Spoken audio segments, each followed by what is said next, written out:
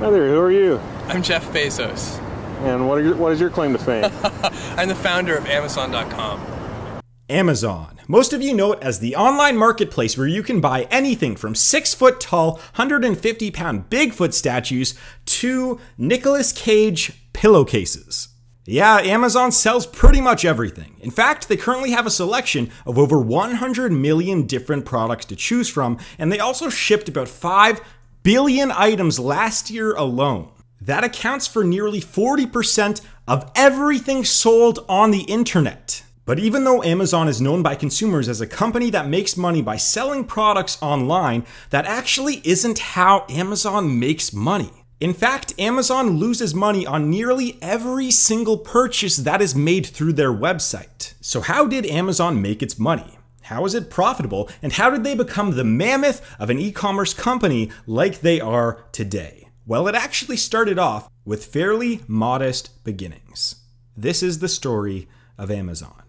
Let's take you all the way back to the 1990s when the top fads were beanie babies, Tamagotchis, and yes, the internet. Allison, can you explain what internet is? It's a giant computer network. Oh, I thought you were going to tell us what this was. It's like a looked in the computer dictionary. billboard. It is true that when I was a kid, the information superhighway, as we called it, was an unknown but growing sector of the economy. Actually, the term growing may be a little bit of an understatement in this case because the growth of e commerce in 1994 was nearly 2,300%. A young Wall Street executive named Jeff Bezos had been paying attention to the growth of the internet and decided to leave his Wall Street firm in order to start an e commerce company. He did this because he had something which he called a regret minimization framework, which meant that he never wanted to wake up one day when he was 70 years old and regret not trying to start a business with a massive growth opportunity like the internet. So Mr. Bezos packed up, moved to Seattle, and began to work on a business plan for his new e commerce company, which he called Cadabra Inc. Not what you were expecting, I'm guessing. He then went to legally incorporate the company, Cadabra Inc., except that his lawyer misheard the company name and incorporated it as Cadaver Inc., which was a little bit too dark for Bezos' liking, so he came up with another name, Relentless. Again, I'm guessing that's not what you were expecting.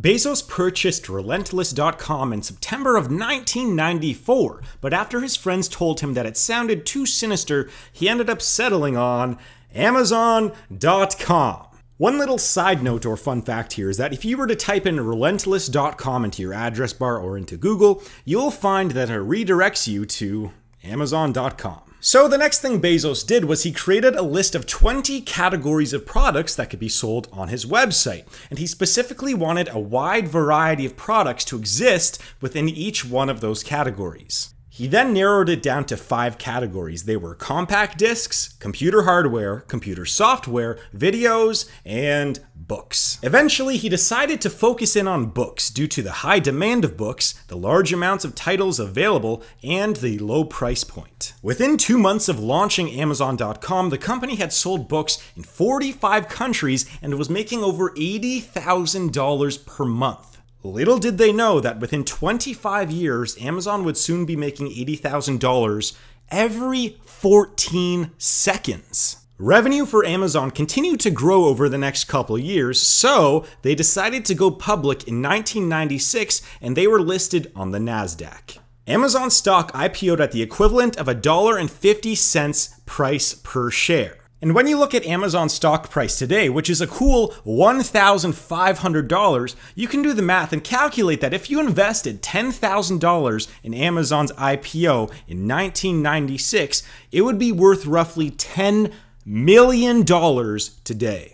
However, Amazon would hit a few rough patches over the next few years. Barnes & Noble sued Amazon in 1997, alleging that Amazon's claim to be the world's largest bookstore was false because it isn't a bookstore at all, it's a book broker. The suit was settled out of court, and Amazon continued to call itself the world's largest bookstore. Amazon was then sued again by Walmart in 1998, alleging that Amazon stole some of Walmart's secrets by hiring former Walmart executives. The suit was also settled out of court. Despite these lawsuits, Amazon continued to grow at a tremendous rate by mainly selling books. But selling just books was not good enough for Jeff Bezos, so later in 1998, the company made a big decision to expand beyond books and started selling a little bit of everything. This was the first step that Amazon took towards becoming the everything store. The decision to start selling everything made Amazon's revenue jump to nearly $1 billion, cementing itself as one of the giants of the e commerce industry. Investors soon became very fond of Amazon and its upside potential, which made Amazon's stock price reach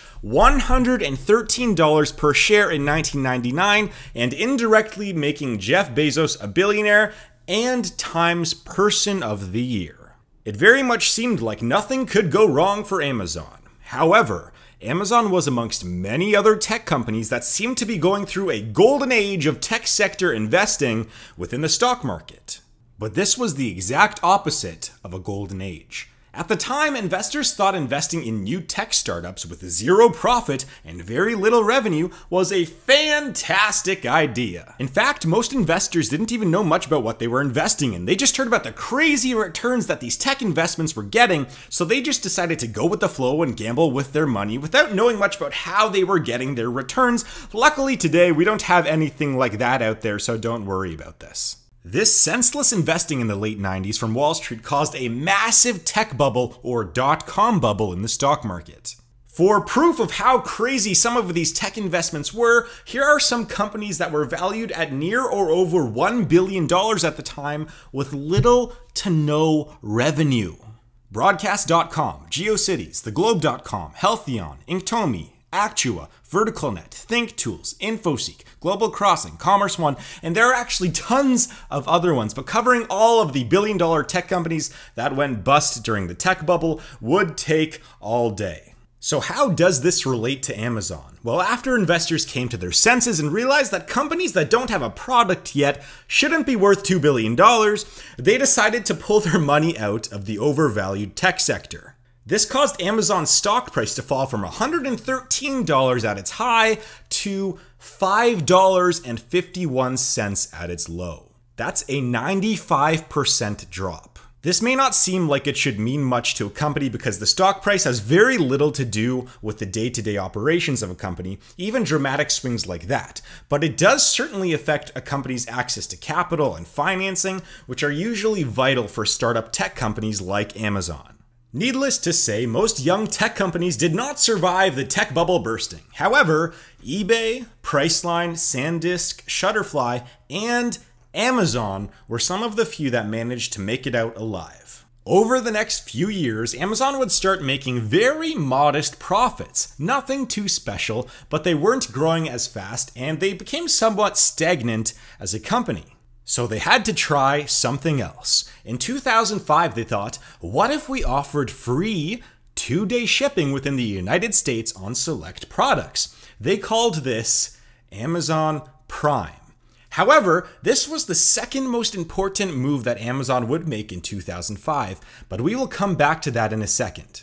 The move to give free two day shipping on a lot of products would actually make the company lose money on every single product that was shipped due to the increased cost of this fast shipping. And to this day in 2018, Amazon still loses money on every single product that is sold on their website. So, how does Amazon make a profit? IMDb, Audible, Zappos, Twitch, Whole Foods. What do these companies have in common? Well, all of these companies are worth over a billion dollars and all are owned by Amazon. Even though these subsidiary companies do not affect Amazon's bottom line that much in terms of revenue, what I wanted to show you is that a lot of giant companies have a business strategy where their main product or service is not profitable, like Amazon's marketplace, but several of their smaller subsidiaries' products or services are profitable. So let's bring this back. Remember when I said that Amazon Prime was the second biggest decision that Amazon made in 2005? Well, that's because the biggest decision, at least in my opinion, was starting a subsidiary company called Amazon Web Services, or AWS for short. AWS does a ton of different things, but to try and simplify it, AWS is a cloud computing company that hosts websites and applications for customers and other businesses. For example, let's say you have a great new business idea Tinder, but for dogs. Let's call it Dogger. In order for you to build Dogger and have it be connected to the internet, you will need to put it on a server. There are plenty of companies that will cut corners and let you host a personal blog on part of a server for about $4.95 a month. But if you want to build a big company, you will likely need 1 to 10 full servers to start, and each one of these will cost you between $2,000 and $5,000 a piece. And for a lot of small businesses that are just starting out, that can be really unaffordable. So, AWS lets you rent out servers based on your needs, and the price is variable depending on your usage. But it usually ends up being around $500 to $1,000 per year depending on your company. That's much more reasonable for a startup like Dogger. So, to summarize what AWS does is they offer a very affordable way for businesses to host large-scale websites. This would become very vital to Amazon in the future. In fact, over the next 13 years, AWS would end up growing at a rate faster than Amazon Marketplace. Roughly 34% of all websites today use Amazon Web Services as a platform. Meanwhile, the next three biggest competitors, Microsoft, Google, and IBM, own 11%, 8%, and 6% of that share, respectively. So, how important is AWS to Amazon as a whole? Well, let's break down their financial information. Amazon Marketplace made $160 billion in revenue last year, but had a loss of $200 million, largely because of the shipping costs. This means that they had a loss margin of 0.125%. Which also means that on every single product that is sold through their website, Amazon loses, on average, 0.125%. That doesn't sound like a great business strategy to me. Step in Amazon Web Services. AWS made $17.5 billion in revenue last year, 4.3 billion of which was profit, meaning that AWS has a profit margin of 24.5%. So, even though AWS makes up only 9.8% of Amazon's revenue, it makes up nearly 100% of Amazon's profit and cancels out any losses that Amazon Marketplace may acquire from expanding its control over online shipping using Amazon Prime.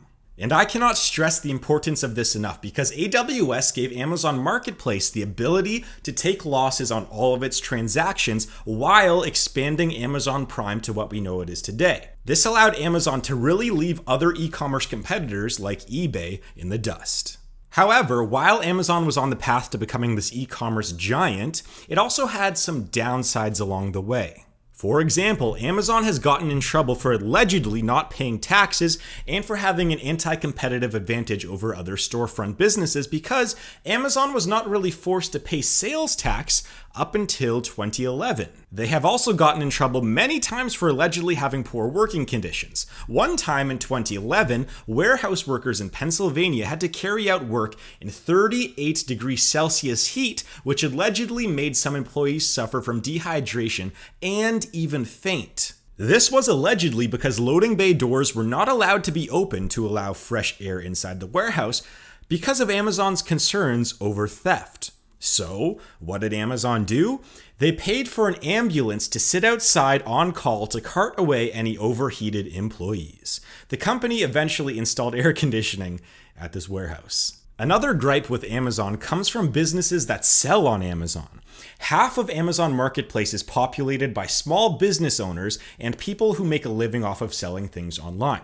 You may have actually heard me talking about why you should sell things on Amazon in past videos. However, in the past few years, when Amazon sees that a product is selling well on their website, they make their own version of that product and undercut the original seller and rank their product ahead of the small business owner that originally posted the product. This has made small business owners unable to compete on Amazon's website and lose an essential portion of their income. But what if you could sell your products online without having too much competition from a big monopoly company like Amazon? Or what if you could buy a product online and have it shipped to you in two days without needing to spend a hundred bucks on Amazon Prime? Well, Joisk.com is a new startup marketplace that I'm currently building. It is still in the alpha testing stage, and free two day shipping is only being tested in a few cities in Canada at the moment. But if you want to support this channel, I would really appreciate if you'd go onto Joisk.com, just check it out, maybe buy something if you'd like, or start selling something and maybe make some cash yourself. Or you can just buy a cheap product and, you know, resell it on Amazon or eBay for all I care, or resell it on Joisk. It's totally up to you. Honestly, uh, there are still a lot of kinks to work out in this website, so it's still in the testing stage, and I'm, I'm not marketing this site like crazy right now, but it would mean a lot to me if you'd go on there, at least check it out, let me know what you think. So uh, I'd like to thank you very much for watching. Uh, you're all very beautiful people. Please subscribe if you like this video and hit that like button, and I'll see you guys next time.